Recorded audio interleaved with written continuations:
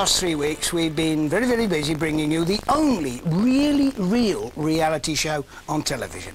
And the reason that it's real is quite simple. You cannot control wildlife. No, no good saying we want you here at a certain time or anything like that. And they're certainly not going to learn their lines and they certainly won't rehearse. Quite. And it's not just the wildlife, is it, Bill? Hmm? Anyway, the reason that we can bring you extraordinary goings-on from the wild world is that humans can do some pretty extraordinary things too. For example, we can bring Simon King live to your living room when actually he's on a remote island in the Hebrides. Thanks for that, Kate. Well, we've enjoyed three wonderful weeks up here on Islay. The, the wildlife and the weather have been first class. The weather's just beginning to change, so that's a sign it's our last day here. But it is a, a real joy to be able to look back at uh, some of the uh, wildlife characters that we've been following and indeed to relive some of the magic moments, including a fantastic encounter I had just last weekend with an otter. I'll be back soon. Now back down to Bill and Kate. Thanks, Simon. Now, um, a programme like this at the end of a series, sort of roundup, is really an excuse. No, no, no, that's not fair. An opportunity to show all the good bits and, of course, to leave out the uh, naff ones. Which means there's absolutely no reason why this show shouldn't be totally brilliant. Exactly. Except we're also going to show you some of the bits that you have asked to see again. So if that isn't quite as good as the rest, it's your fault. Yeah, it is. But we're going to begin with Bill and Kate's favourite families. Here are the cutest and the cuddliest. Yes, if you have R's to R, then prepare to R them now. Ah. Oh.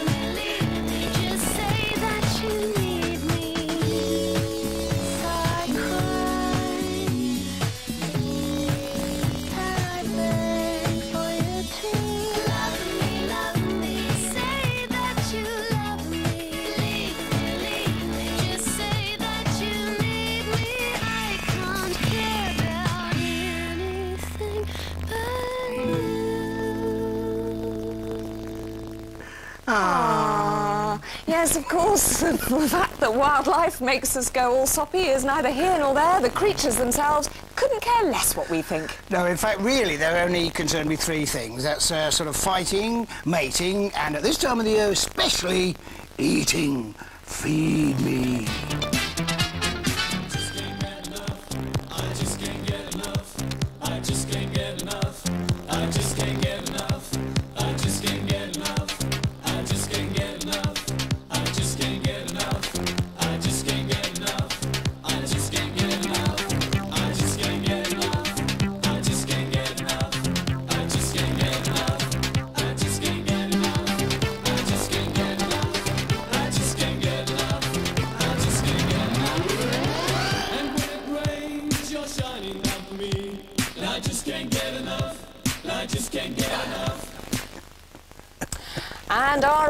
For best providers goes to the Swallows. Without a doubt. And uh, crown to the, for the uh, Show It Me and I'll Eat It award goes to the Baby Buzzard, without any doubt at all. But, of course, what goes in must come out. Yes, indeed. And uh, that can be quite entertaining. So, we now present our top five evacuations. Yes, it is Top, Top of, of the the Poops.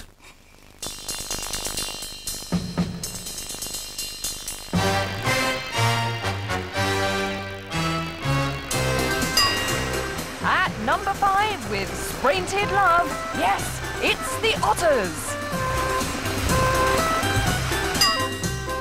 Whilst the Swallows have got it all wrapped up.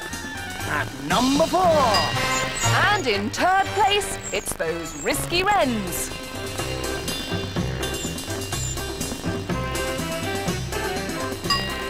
At number two, what else but number twos from the Blackbirds?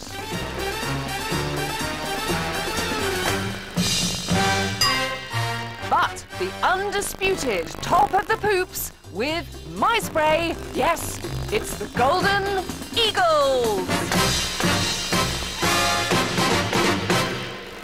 What a record breaker. yes, and thanks to Simon for all his contributions. Uh, I mean, Simon, not Yeah, him personally, no, his no. Eagles, of course, Yes. sorry. well done, Simon. Thanks for that. I'm glad you're not going to see that. Now, the past three weeks have been an absolute joy. We've been blessed with fabulous weather, most of the time, not today. And uh, the wildlife watching has been top form too. We've had, had moments of anxiety, we've had moments of wonder, we've had lots of giggles too.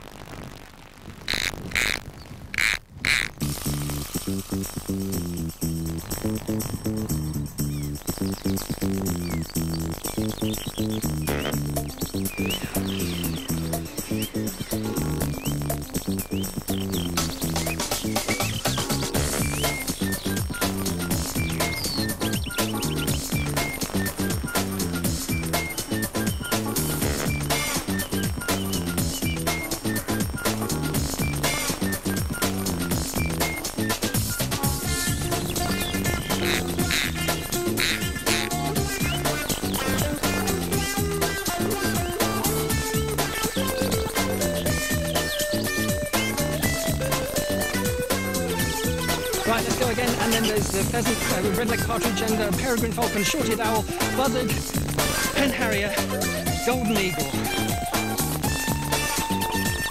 Five, four, three, two, one, zero. Cue Simon.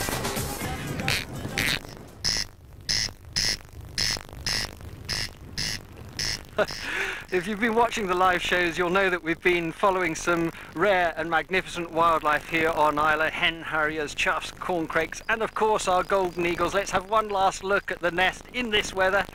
Oh, the poor chick, you can barely see it there, hunkered down against the rain, but it's doing fine. It's got feathers coming out of its back and it will do fine. It'll leave the nest in, in a couple of weeks. Now, a bird that um, is far less uh, prepared for these sorts of conditions is a shelduck. When they first come out of their nest burrow, they're tiny little balls of fluff, just two days old.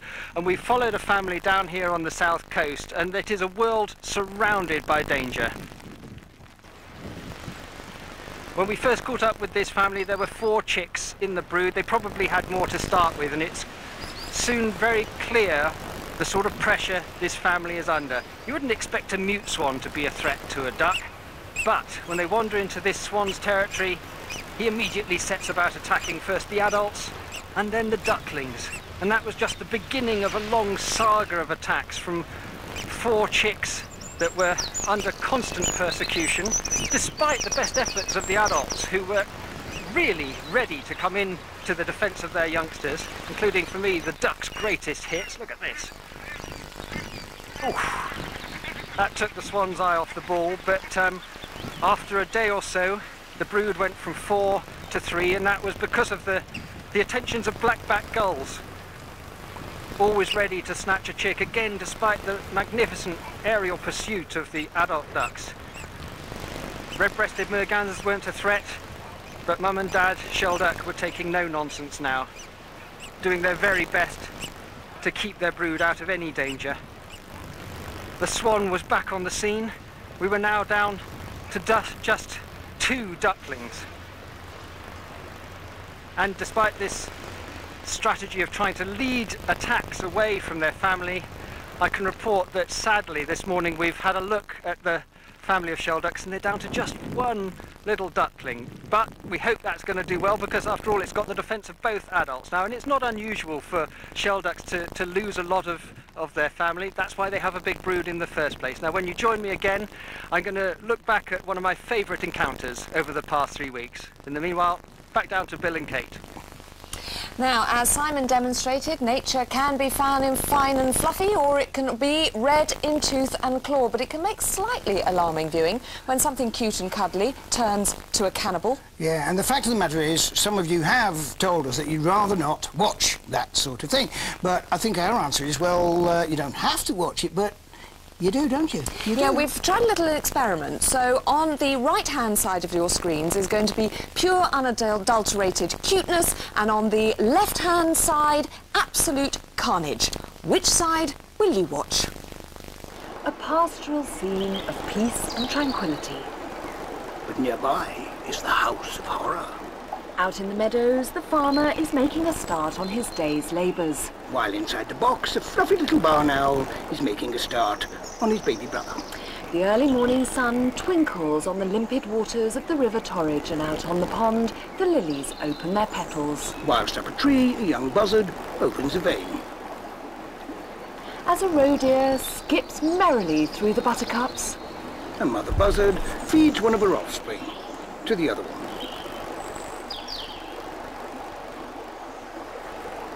Amidst a carpet of bluebells, beneath a canopy of fresh spring leaves, a squirrel is nibbling his nuts. Whilst barn owls are nibbling not just the nuts, but every other bit too. And as the sun slips down behind the horizon, Another baby barn owl slips down a treat. Seriously though, that's how it can be with wildlife. That's the truth of the matter, and it can also be like that uh, with wildlife um, television, Yeah. actually. Yeah, because we know that, Kate and I, because uh, this year they told us there was going to be a thing on called Night Shift. It was going to be great, you know, late night stuff. And But they told us black and white, Bill. Yeah, well, if only, because what they also said to us was um, we wouldn't be needed to present it. And just to rub it in, we were going to be replaced by captions. Thank you.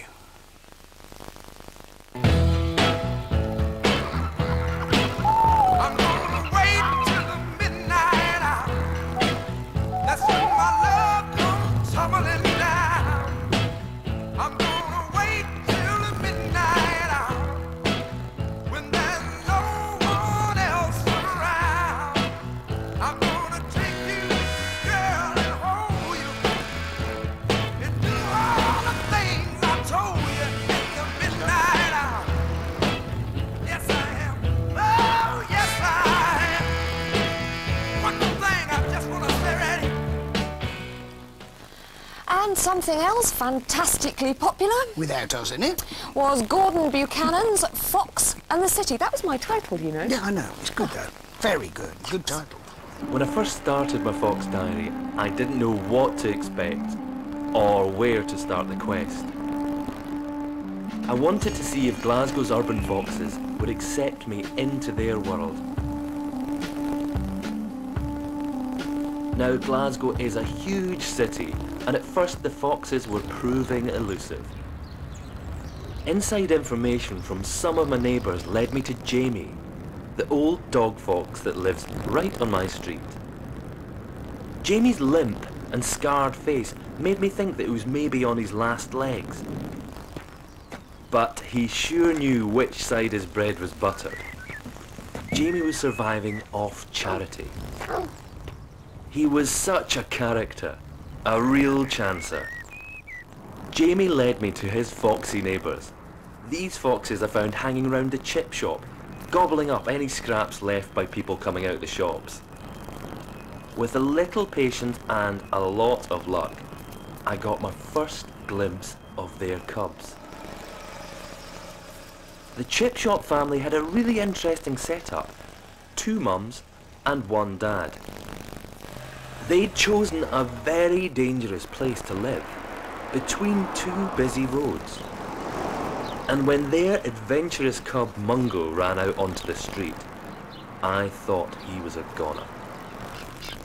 But when he showed up the next morning, it was a huge relief to me and his family.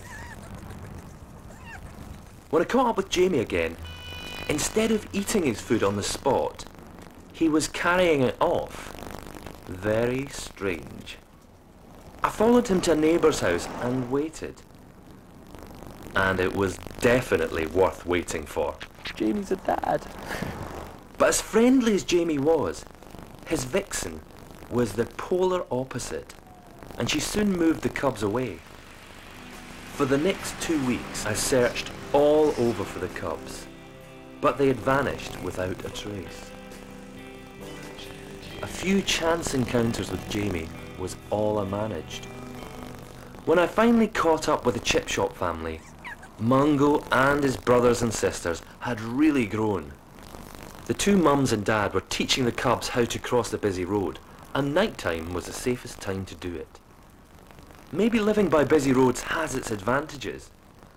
Road safety is the most important lesson an urban fox can learn, and they learned it early on. I eventually managed to follow Jamie to where he and his vixen had moved their cubs. The cubs were huge. Jamie had been looking after them really well. But there was a twist. Jamie had a helper, another male fox, almost definitely one of Jamie's cubs from last year. The helper was doing most of the babysitting, while Jamie went looking for food. I've learnt that there's a large and complex fox society right on my front door. I've been lucky enough to be a guest in their world for the last few months. It's really been Jamie who's taught me the most about what life for a fox in the city is really like. Great stuff. Great. Now, by now, you will have realised that we're quite uh, proud of the technical and logistical achievements of Springwatch. Not that it's anything to do with us. No, other no, it's not. Uh, now, we trust you are suitably impressed, but in case you're not, here are some statistics that make you go, ooh. Oh, yes. So not only have they replaced us with captains, we're now going to be upstaged by numbers. Okay, fine, yeah, fine, fine. yeah. Now, 20 families starred in Springwatch. Ooh. There were 85 deaths, births rather. well, I mean, help. Ooh, yeah. There were um, 20 deaths. Oh, yes, very good. and three times our cameramen forgot to press record. And by the way, there were also two presenters. No, well, three presenters. Ooh, no, he doesn't get a new.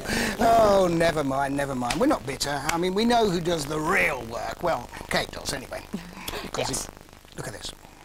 I'm standing outside what is the most important part of the Springwatch production village. This is Mission Control, and uh, a few months ago, this was just a green, grassy field with no porta cabins in it whatsoever until Sir Dewar arrived.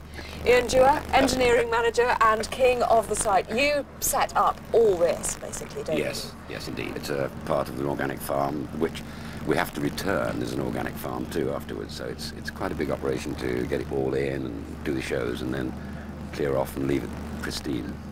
It is a big operation. You do an amazing job. Ian, thank you very much. Now let's go inside and see who works in here. Here they all are, looking very busy. Uh, this is David. He's the director, and I have to be terribly nice to him because he could make my life an absolute misery. Call up the Wren next, But Kate. at the end of the day. I run the live part of the show, so I'm talking through this microphone to you and Bill and cueing you and cueing uh, films that we're playing. I'm talking to the cameramen and asking them for shots. So if you want to pick one particular image from one of these cameras, how does that then come up on our screens? The, the people who do that are next to me. Aha, okay, so Sarah Jane and Roger, you're all known as vision mixers. Correct. And how does it actually work? I mean, the desk looks like you're running a kind of uh, 747 jet. Well, it's, uh, it looks rather impressive, but actually it's, it's relatively small in a lot of respects. There are only about 32 sources on the mixer. And I actually press the buttons that put the pictures out on air. Um, And do you ever find, Sarah Jane, that Roger's in your way and you have to slap his hand out of the way and say, get off me button? No, we work, we work very well together. Do you ever have arguments trying to work so closely together? No, I don't think we ever have had an argument because we've worked so long together that uh, we actually make quite a good team. And you run BT. Now, there is one more person in this gallery who, Seven, six. well, I'll introduce you. This is Jenny. Hi. Don't look at me like that, Jenny. Just explain what you do because it is miraculous. Well, I wouldn't say that, but I am responsible for getting the programme on air at the right time, off air at the right time. And because only on air for an hour, I have to make sure that everything in the middle times and fits in, and so that you and Bill know how long you've got to speak, and everybody knows what time we're doing things. And when we go over time, what do you do? Yeah, you're out of time now. Could you uh, move on, please? It's fine, thank you, and stop recording. Thank you. Now, from the people without whom the show wouldn't be possible to the people without whom we wouldn't bother to make it at all. That's you, the viewer. Exactly, and you've been very, very busy. Thank you very much for watching for a start, because that keeps us employed. Um, but I'm not quite so sure whether cameramen are going to be so confident, because you have been sending in some almost worryingly brilliant little home videos. Yeah, have a look at these. Good.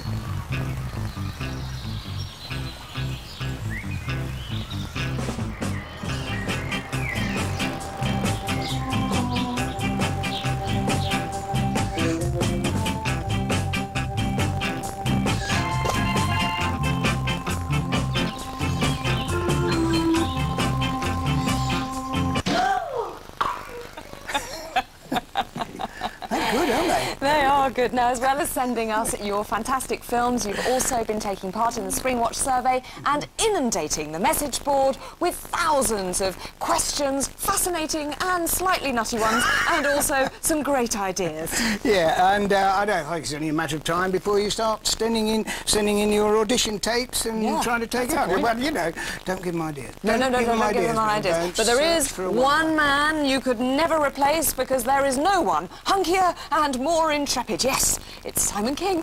Again. Thank you very much, Kate. Well, I've had so many wonderful wildlife encounters here on Islay over the past three weeks. It's very hard to pick a favourite, but if I had to, it would indeed be last weekend when I was sitting on a low cliff. The weather was absolutely perfect, and I was looking down at a wild otter, some of the best views I've ever had. Not only was the water calm, the otter completely oblivious of me being nearby, but I was able to watch it underwater, and that is incredibly rare, to see its every move, its wonderful serpentine grace. It really is moments like these that make every day in the wind and rain worthwhile.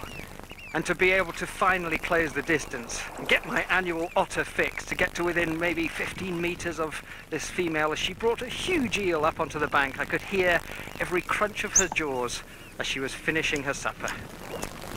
A real treat. And that's what wildlife watching is all about, a, a chance encounter that stays with you for the rest of your life. Well, we've had many fabulous encounters here, and we couldn't have brought any of it to you had it not been for the help of so many people, the RSPB, Scottish Natural Heritage, and most importantly, the people of, of Islay, the, the landowners, the farmers, everybody here has been so helpful, so thank you all very much indeed. The wildlife is spectacular, the detail is fascinating, but when you look around the landscape and the beauty of the backdrop here is some of the best in the country.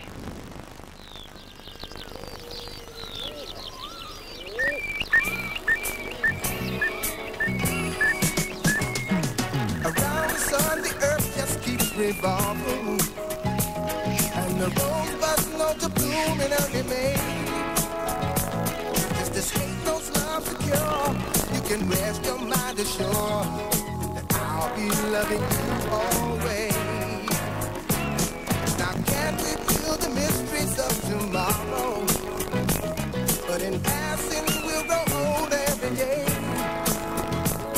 If this all is born is new, you know what I say is true. I'll be loving you always.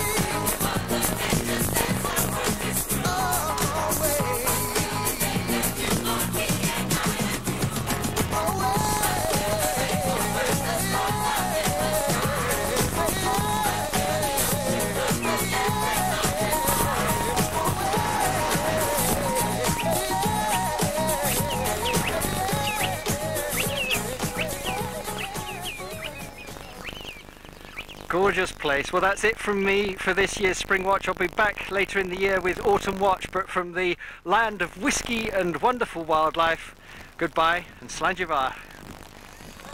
Can he, can he Simon, get out of the rain. You, you don't have to be intrepid anymore. Go and All enjoy right. your whiskey. Relax. You really, really earned it. Back it's to been fantastic distillery. stuff. Thank you so much. We look forward to seeing you in the autumn. Oh dear. Bye, Simon. Uh, now, we have had a great time, but after tonight, we're, um, well, how do we put it? Out of work, I think. Yes. Yeah. no, actually, I think we're sad. I think is the honest truth of the matter. And in a funny sort of way, I guess we hope that you at home are sad because there's no more spring watch, and uh, of course there's no summer watch. Yet.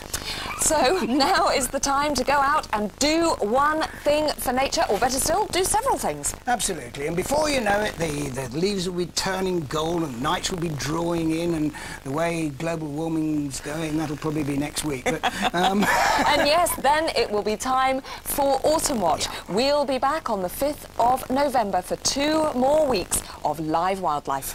But meanwhile, we shall uh, end up by giving you exactly what you want, or at least what you have asked for.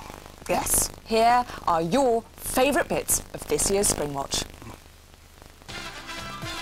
Climbing up the charts and climbing up the stairs. It's the house mouse. Mice work. Making a flying start at number nine, it's a big leap for the Tawny Owls. At number eight, those kings of rock and roll, the Badgers. And Bless you. at seven, Bless you. the hen harrier. That's got to be enough. Thank you. And perched at number six, it's the Kingfishers. Well, they certainly know their scales. Ha ha! Waddling in at number five, there's nothing ugly about these ducklings. It's the shelducks. And still hovering at number four, the Kestrel. Plunging straight in at number three, it's the otters. There's nothing otter than them. And they may be top of the food chain, but they're not quite top of the charts, the Golden Eagles. But at number one, your favourite and ours. Yes, Oddie and Humble with Pished Again. I got a buzzard. Oh, that's on recording. I'm sorry.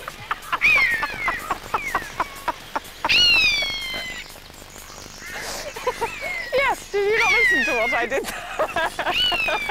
Fishing, I couldn't hear. yeah, no, that was a recording. But yes, so that was there was the surprise. It was a buzzard, a very good one. And um, the great news is that we do have a buzzard nest again this year. So let's go to the film. It's not Oh, you idiot. Oh, Yeah, We have to laugh. don't you? No, no wonder they were going to replace it with claps. we'll see you in November. See you in Bye.